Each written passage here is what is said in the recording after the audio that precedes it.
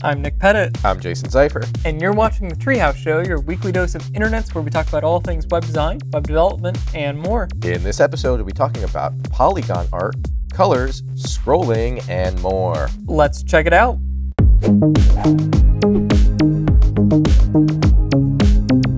First up is this really cool post about animated polygon art. You're probably thinking, what the heck is that? Well, the heck this is this is what the heck that is. It is polygon artwork that is animated. I'd So- be lying if I'd say I wasn't impressed. Get it? Because it's a lion. Yeah, I, I got the joke. Uh, so this is just one SVG file, and you're probably thinking, wow, well, how the heck are they animating every individual triangle if it's all one SVG? Well, it's using this pretty cool library called Timeline Max by GreenSock. So we can click on that, and it will open up the site for Timeline Max, and you can download it on GitHub, or you can just download the zip if you prefer.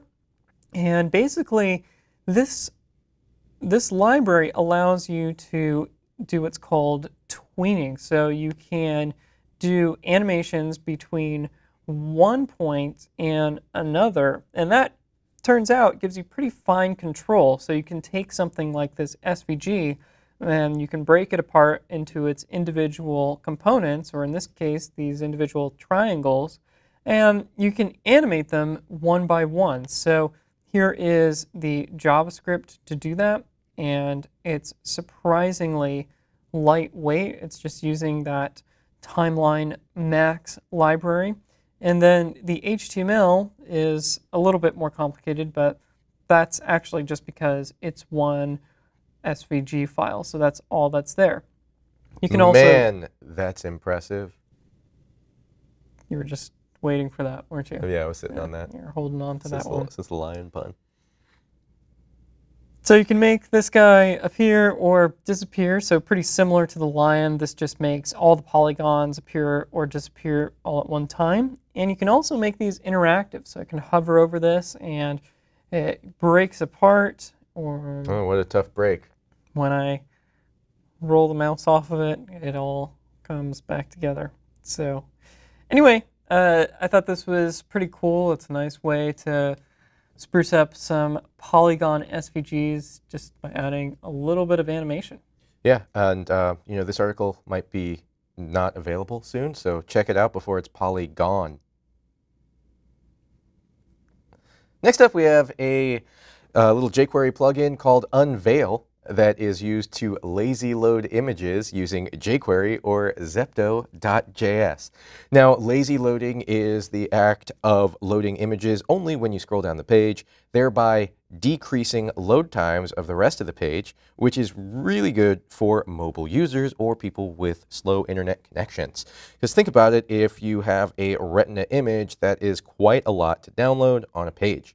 So what's really nice about this library is that it is less than 1K and very easy to use. So let's say you have your images on the page here, just give it a jQuery or Zepto selector and call the unveil method.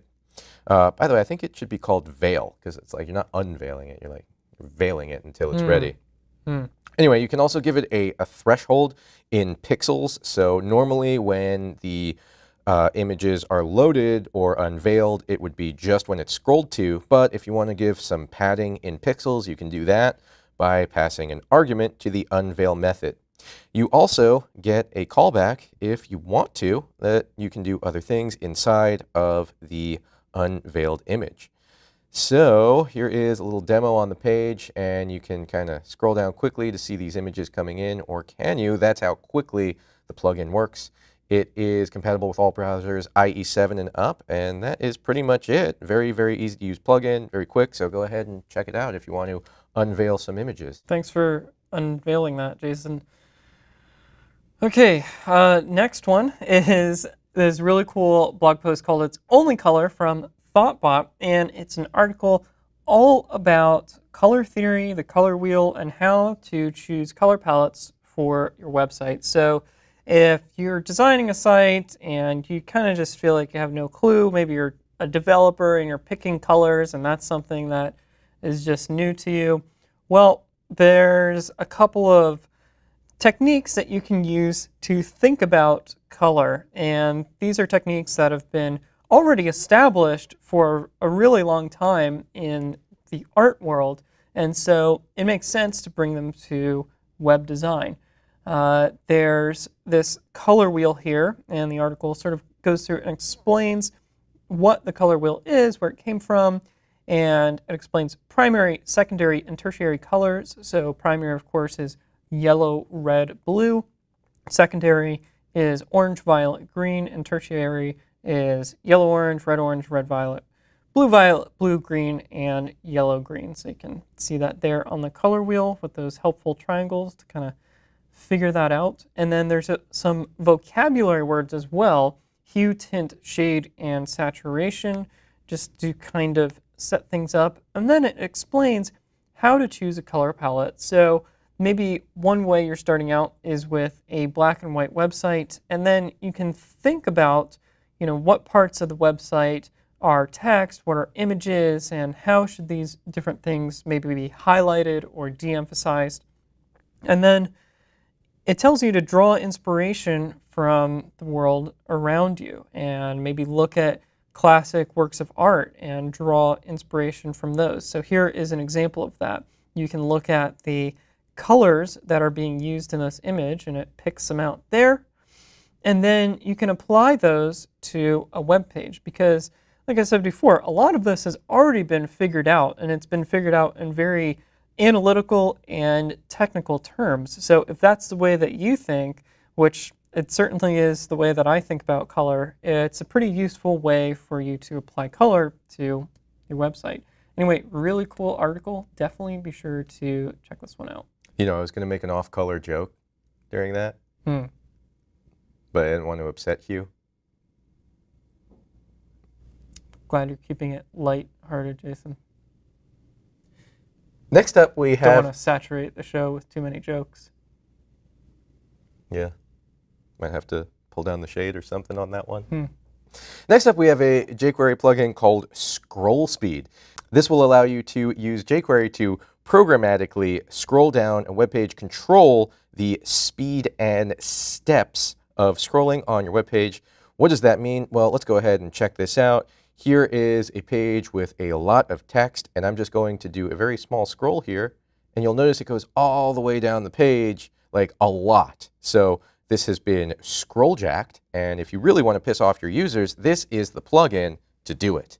Now, there are legitimate reasons to jack the scrolling. Let's say, you know, you have one of those sites that has, uh, what is it, parallax scrolling, change the, um, you know, the units with which to scroll down the page. Anyway, this is very, very easy to use. Just include jQuery and then call jQuery.scrollSpeed and you give it two units. The first is the step, which defaults to 100 units, and the speed, which is 800 milliseconds. So you can play around with that, see which one is better for your particular page. And if you want to, you can also use custom easing as a third argument. And that's it. This is just a really quick, easy to use plugin. And uh, so if you want to use that, check that out. We'll have a link in the show notes right below the video.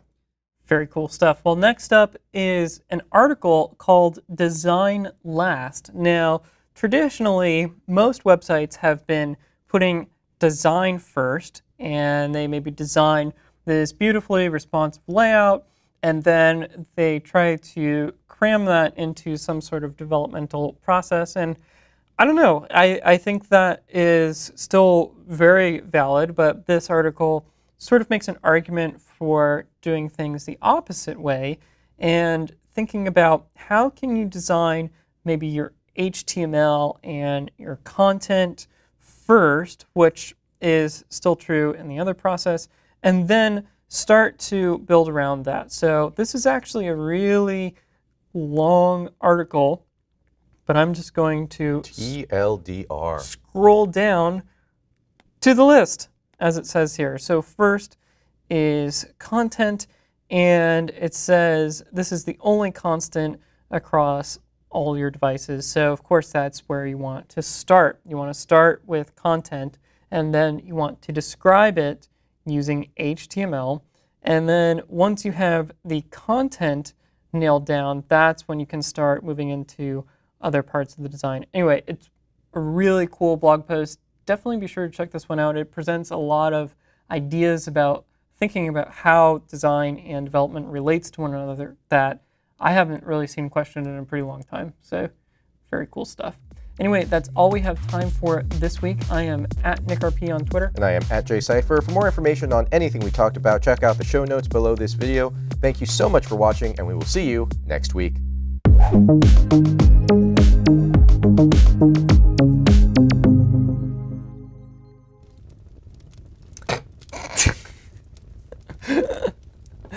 Wow, looks like your laptop's on fire there, Jason. Yeah, kind of like us with those jokes.